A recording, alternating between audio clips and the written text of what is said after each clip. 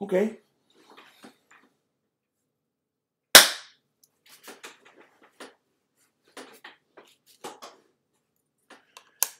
Okay, so uh, it's a little later than I planned. I was planning to get to this uh, the day after the last video that I sent, but it looks like it's going to be closer to about a week later. But that's okay. I had a crazy week.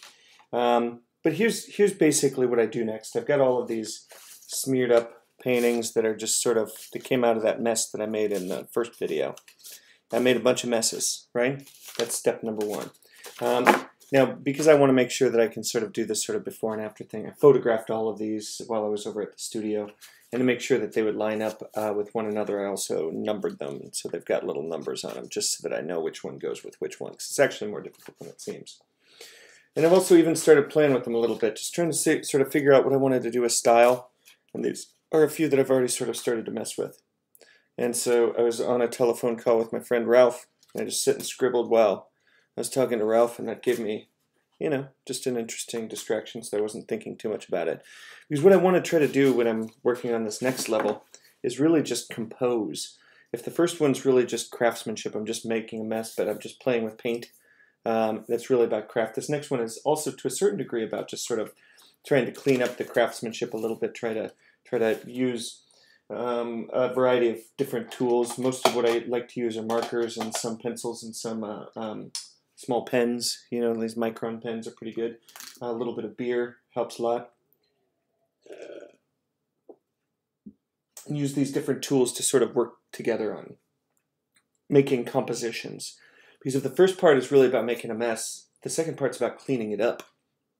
And what, normally what I'm thinking about when I'm cleaning it up is how to uh, sort of affect the composition. Because this is a perfectly nice composition as is. It's kind of got uh, uh, it's got interesting color. It's got interesting shapes that are sort of forming here, but it's certainly um, not very well organized.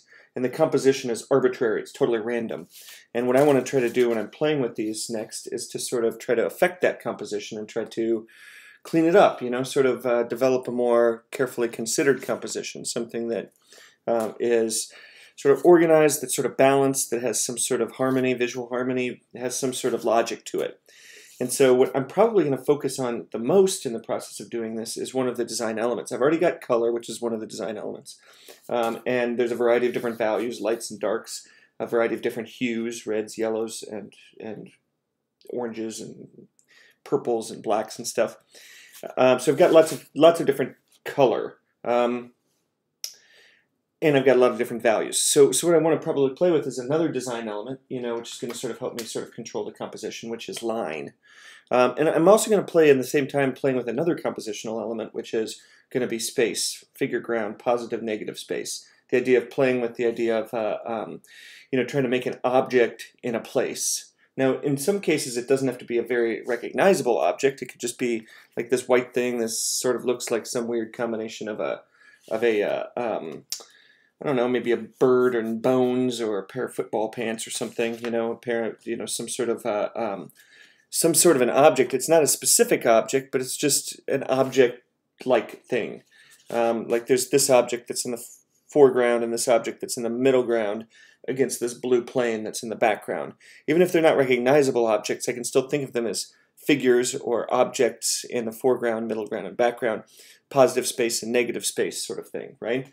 So I'm going to be playing, I'm going to be creating space while I'm playing with line. And so that so most of what I'm doing here is composing. I'm just arranging the elements in some sort of way. You know, I've got this weird little circle up here or this weird little circle up here. It's another way to break up the space, right, by using shapes. Shapes are another design element. I've got rectangles out here and I've got circles here.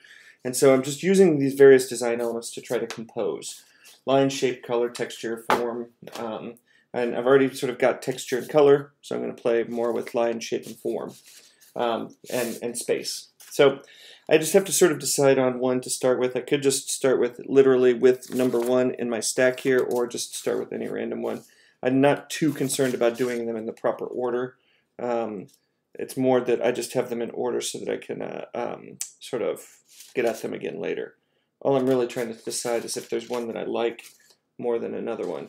I have figured out sort of a recipe that I can play with for these, and I've figured out a recipe for these. This happens to be number one, Maybe I could just play with number one first, just because then it decides for me which one to do first.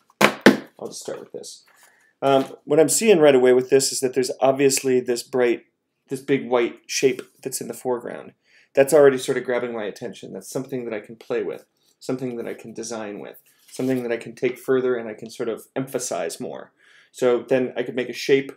By defining that shape, I can sort of end up with a with an object, and then that would sort of create a background opposite it. Um, with this series so far, I have done a few things that I'm going to sort of consider to be consistencies. I want to talk, as I'm working on this, I'm going to talk a tiny bit about what I mean by a series, you know, and really a series just has is a, is a number of artworks that have some design unity um, to them, and then they sort of hold together. And one thing that I've done with a lot of these pieces in this series is to start by sort of creating um, a frame for them, and that sort of helps define figure ground in one way, um, in that I'm sort of deciding that there's a space that's in bounds and space that's out of bounds. Um, it also sort of helps because I'm putting a shape inside of a shape that creates a um, sort of a target, you know, a circle inside of a circle draws your attention towards the center like a target. And similarly, a rectangle inside of a rectangle sort of emphasizes that rectangularness of it and sort of creates that sort of um, target effect where it draws your eye towards the center. And so I'm just going to continue to play with that. I'm just going to grab one of these markers. I'm going to grab a thicker marker to make this frame nice and dense and very visible. And that will just sort of get the ball rolling, just that I have made a decision. Um, and I've made this decision as a consistency across many of the different pieces that I've made, and that makes it a uh, sort of a design consistency for the series. Um, generally, when I think about a series, I think about, you know, I'm making several pieces. I'm not making identical twins, uh, but I'm making siblings. So I start with one artwork and then I say, well, what do I like about that one? And what do I want to sort of end up with in the one to make it seem as though it's related to the other one, right? That it's like a brother or a sister to the other one. You know, which character traits do I want to bring over? And which ones do I want to sort of leave off? And so one thing that I just happen to like a lot is by defining that frame, for some reason it sort of tells me that the stuff inside the frame follows one set of rules, the stuff outside follows another set. There's some place where you can see the frame really clearly, somewhere it's harder to see. Something that I've done in the parts where it's harder to see the frame on some of these other ones is that I've sort of gone and I've added a little bit of this blue to sort of bring that part out. I tend to do that later just to really make emphasize the frame. I'll probably do that a little later because magic marker, especially Sharpie, doesn't like to go over top of the waxy uh, colored pencils. So I'll do the colored pencil later in the process. And really what I'm trying to do is I'm trying to decide what is it that, how do I want to emphasize this? And generally one of the easiest ways to do that, as I said, is to use lines and use those lines to help sort of draw it out. Um, I like these graphic pens. They just tend to make nice lines. They make, um, each one of these has a different uh, um, number on it. And so uh, that basically is the weight of the stroke. So this is like a 0.02. This one's a 0.005. You know, so it's going to be a thinner one. This one's a 0.01. So I can get progressively smaller strokes. And then this one is a little more, this one's the thickest. And so usually I'll sort of start with, I, actually, of course, it's not the thickest because I do have other thicker Sharpies over here. I've got these and I've got these. And I've got actually a Magnum too that I used on a couple of the other ones, which is a really, really thick one. But basically, I'm just using this to sort of help describe the shape. You know, as soon as I define that shape, then I've sort of got a jumping off point. I've sort of decided that it's something that matters, and it's just a compositional element that I can start working with. When I'm cleaning it up, I have to start somewhere. I don't always know exactly what I'm doing, but until I start, I'm just sort of, uh, I don't have anything to do. So by just making a choice, and in this case the choice is to just outline this white thing, I've got something to do. And as I'm outlining that white thing, I'm just making it pop out more. It becomes more of a dominant visual element because the stroke helps make the shape seem more important. And it's basically also sort of helps describe that shape and give it more contrast against the background. So I'm sort of going back and forth between talking about some of the design elements, some design principles, these things are what makes um, composition work. It, it, they're basically building blocks to composition. Um, and so a lot of what I try to do is to just sort of, you know, over time I've sort of developed an understanding of these design elements and principles, and they really sort of help steer my decision making because I don't have to, I don't know, reinvent the wheel. And so I sort of think about them a little bit while I'm working. And it just gives me a, a, a helps me make decisions while I'm just starting. And all right, so basically I have described this big white blob that's in the middle. I've just outlined it. But now as soon as I've outlined it, I start to see that some lines seem to sort of con connect. So like this line seems to connect over to there. This some of these lines seem as though they could be if I if I connected them, they would it would make sense that they're connected. Others, uh, as soon as I divide it like this, now I've sort of created a shape that's sitting on top of a shape or something, right? And I start describing, you know, some of these subshapes that are inside of here. So now this object just appeared because I described, you know, I just connected those marks. As soon as that object appears, now it has, you know, a relationship to the other objects that are there. those are they stacked? Is one on top of the other? Are they connected? Are they sort of bolted to one another? Which one is in most in the foreground, which one's in the background, and so on. Those sort of become questions that I can answer. But I'm just looking for at this point, where does it feel like the lines want to connect? In other words, like this, like this line and this line sort of seemed like they were already visually connected. I'm just enhancing that by actually connecting those dots. And again, like you can do it in so many different ways. So I'm just making some decisions, and I'm it, that's what you have to do as a composer. You have to decide. Well, I'm going to try doing this and see if I like it. And if I like it, then I'm, I'm good. If I don't like it, I can undo it. Well, I can't, excuse me, I guess I can't undo it. If I don't like what I did, I guess I have to try to work with it. Um, you know, if, if obviously if I was working in pencil, I could erase it, but if I'm working in marker, I can't erase it. I have to live with it.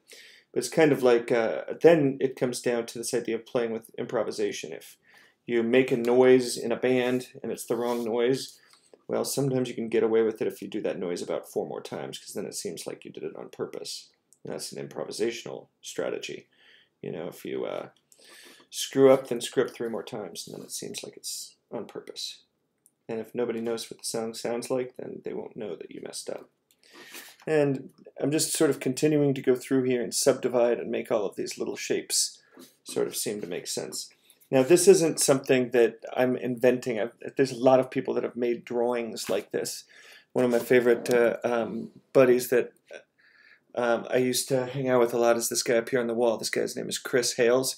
He made all of these really awesome drawings. He just used this strategy. He, you know, we would used to hang out and draw together. Me, him, uh, my buddy uh, um, Colin, you know, um, Phil. We would hang out at the Chicago Art Department or over at Transamoeba and we'd draw. And this is a way to draw. If you don't know what to draw, then just make a mess and just start outlining it with marker.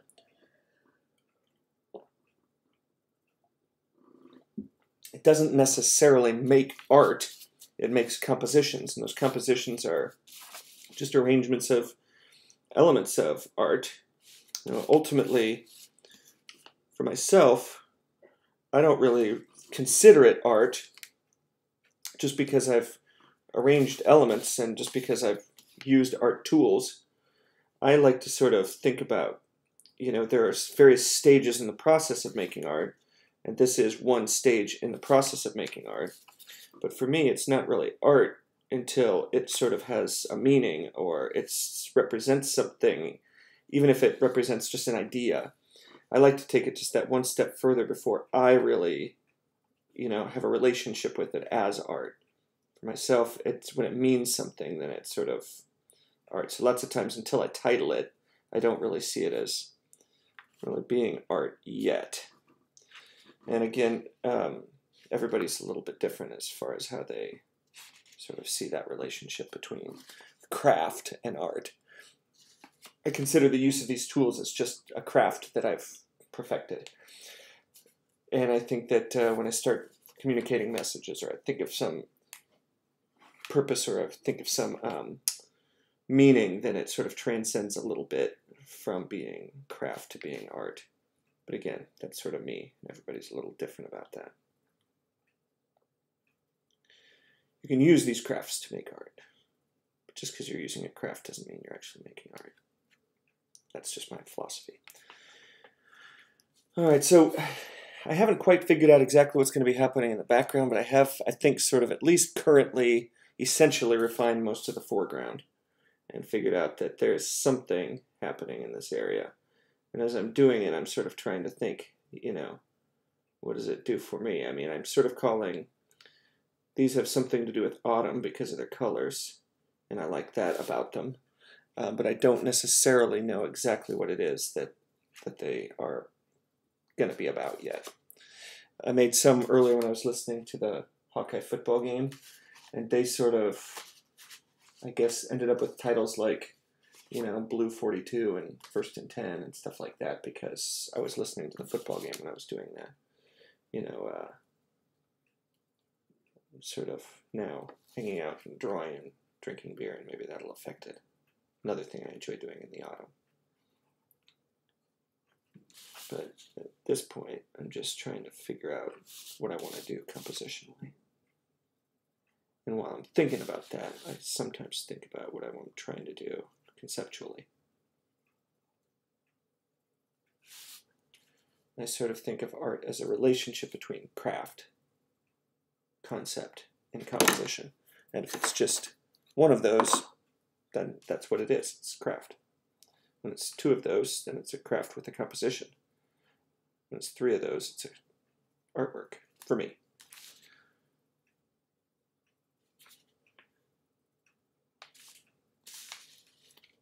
Similarly, I suppose you could have an idea that isn't crafted, and I guess that would just be called an idea.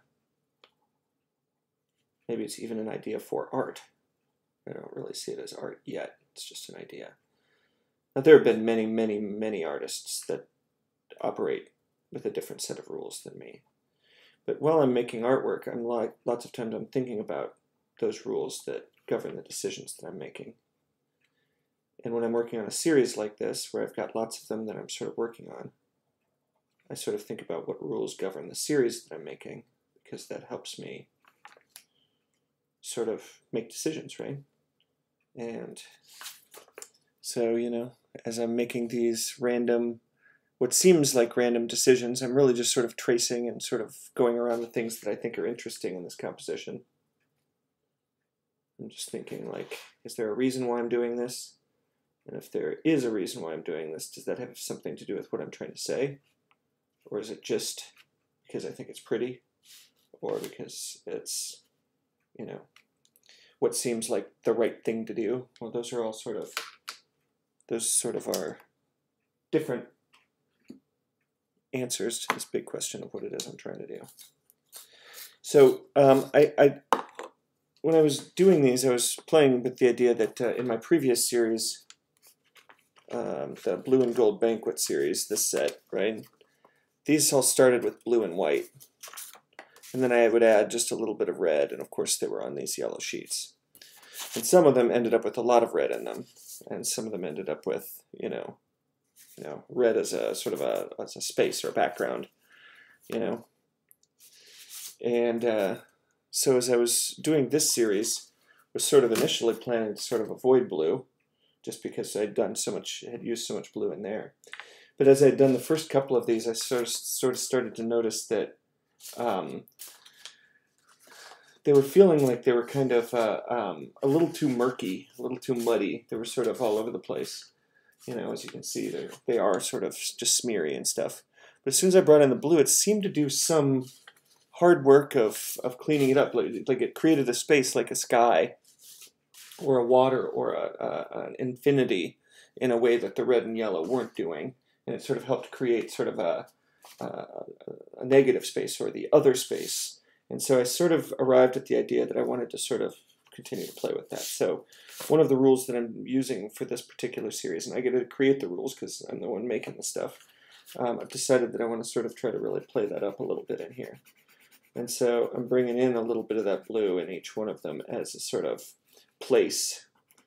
And so that sort of makes the place the sky. And I really like, that's something I really enjoy about autumn, is the beautiful, beautiful contrast between the uh, um, trees that are all red and yellow and orange, especially orange, you know, that's the one that really pops for me. Um, between the orange and the blues, you know, because the the uh, blue in the sky, especially on those beautiful, beautiful autumn days like today was, you know, where you get this beautiful blue sky. you know, behind this orange, and you get this really great high contrast um, color combination, complementary color combination. So they're opposite each other on the color wheel, orange and blue. Um, that really, really, really just, I don't know, it just sort of takes my breath away. It really makes me happy. And so when I was thinking about whether or not to play with blue in this series, it seemed like it was an appropriate thing to do because it feels very autumn and this series seems to be about the autumn. And so it sort of seemed like that was a good idea at the time. And so far it seems to be working out as I use it in here. And so then the only question is, is where does the blue go exactly? You know, if I wanted to really make it sky, then perhaps it just goes up at the top. Then again, in many of these cases, it's hard to tell what is the top. So far, the only thing that really indicates the top is where the envelope is on the back. But many of these are better this way, and some are better this way. I guess there it's water. I don't know. But I'm I'm continuing to play with that, and that blue seems to be a good idea most of the time. Then again, anybody that knows anything about my painting knows that I've used sort of orange and blue in hundreds and hundreds and hundreds of paintings. So it seems like a pretty appropriate decision because it's not out of character for me by any stretch.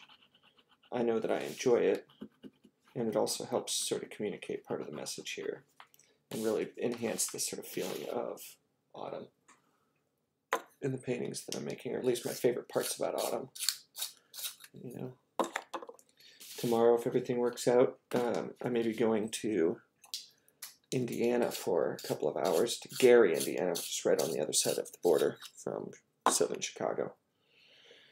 A friend of mine is doing a music show, goes along with her painting show, and she's basically going to be performing one of her paintings on the flute. And that's all I can say about that because I have no idea what that's going to sound like or look like. I've seen the painting. When I looked at the painting, I thought it looked very musical, seemed very logical. When she said then that she was going to be doing that. And so I'm looking forward to that show. But it also means that I'll be able to get outside on a beautiful autumn day out in the country. We'll go to the dunes, not the country, but like right on the edge of the water. So I have been thinking about that all day today. Unfortunately, this colored pencil is crap. Keeps breaking every time I sharpen it, so let's keep trying. Um, and so the idea of sitting next to the water, as I hope that I get to do tomorrow, hopefully it'll be a big, beautiful blue sky. According to my friend Ralph, who I'll be visiting there. The uh, oh, this colored pencil's awful. I'm gonna try the other end. I was talking to Ralph on the phone today while we were uh, while I was doing those other drawings. As I said, talking about both colored pencils and uh, um, sharpies as being tools that we really enjoy using, but inevitably always let us down right when we really rely on them. Sharpie will stop drawing, or the colored pencil will stop sharpening. That's exactly what's happening if you drop colored pencils, you kind of destroy them, unfortunately. And then they are all broken up inside of the wood. They never quite sharpen right again. So I have to try to sneak out the last bit of the blue before it breaks again.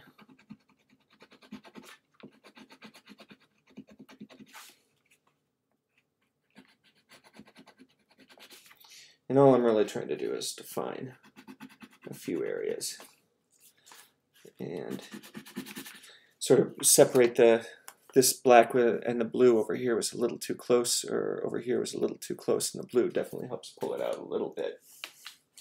Actually be nice if I could bring in even a slightly lighter blue version. Let me see if I've got this will probably not work because you can't really go marker over top of colored pencil. That doesn't work too well.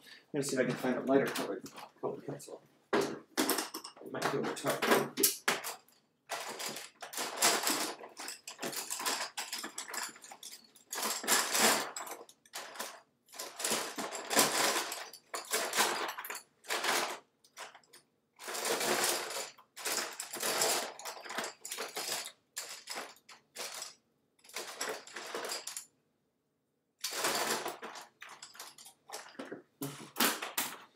again, inevitably, you've got a box like this that's all growing utensils and it has everything except for the color that you want. So I'm going to down to the master box.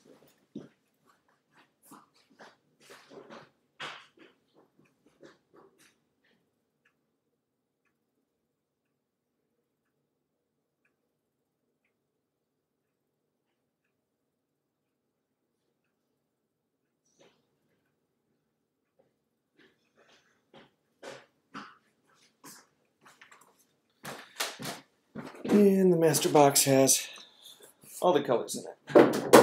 Hopefully, it will have a light blue that isn't trashed. We can bring out a few lighter tones. Have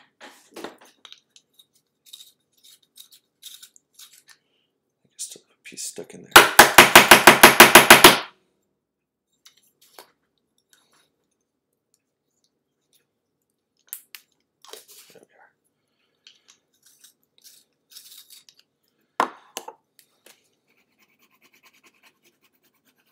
All I'm trying to do is right along this edge here, where the black touches the blue, there isn't quite enough contrast, and I just want to make it pop a little bit. One thing I like about colored pencils is that once you have a nice layer down, you can really make it pop forward.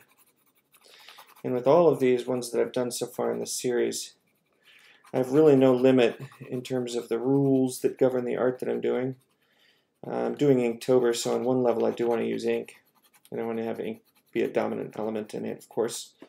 All of them I'm inking paintings because specifically that's the sort of creative exploration I really want to do. Um, I had challenged my students this semester to Inktober, where we were going to choose one art form that we wanted to improve and then do it every day during October. And if we couldn't do it every day, still try to post one for every day. So in this case, even though I missed a week's worth of work, I've also given them permission if they need to take a day or two off or a week off or whatever, as long as they have 31 drawings posted at the end of October. It doesn't matter, so I get to follow those same guidelines too when I need a day or two off. And now I'm starting to get a little closer. See, that blue is really starting to pop out.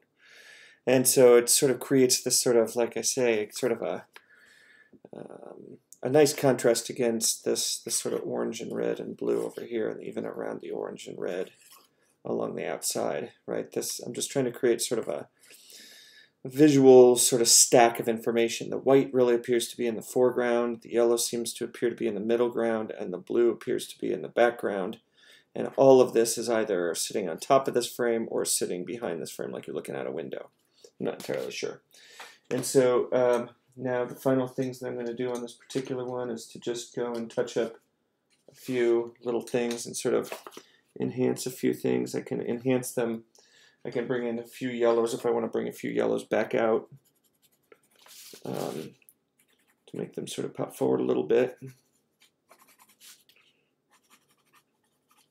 Now, something I was doing in a lot of my other ones that I that I I like to do, and I'm, I'm going to see if I can figure out a way to do it in this one, which is to introduce a little bit of um, um, that's basically what I'm looking at here. To introduce a little some some some geometry back in later in the picture, which is sort of where I'm at right now. So if I'm going to do it, I kind of got to do it sooner than later. Just introduce a little geometry back in by sort of pulling some uh, some some lines that seem to play with um, sort of relationship between the figure and the ground. Uh, basically, where they sort of help really establish what's in the foreground and what's in the background. Now, this image is doing a pretty good job of doing it, that all by itself. If I don't do that, I'm fine. And in fact, it's not something that I've done in all of the images that I've made.